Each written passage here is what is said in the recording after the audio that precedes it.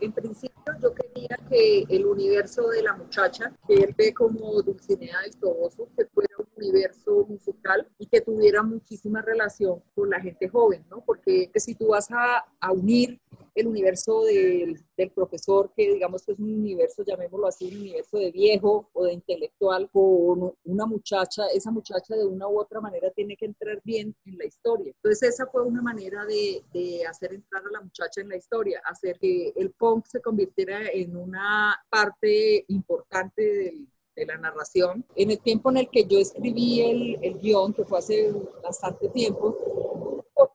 movía un sentimiento de rebeldía en la juventud era el punk, ¿no? Porque hay mucha gente que cree que el punk es solamente una manera de vestir o una manera de comportarse, pero el punk también es una actitud rebelde y contestataria con respecto a la vida. Y yo estaba buscando eso, estaba buscando que la película tuviera un fuerte nexo entre lo joven, lo viejo, entre lo más prosaico, llamémoslo así, lo más intelectual.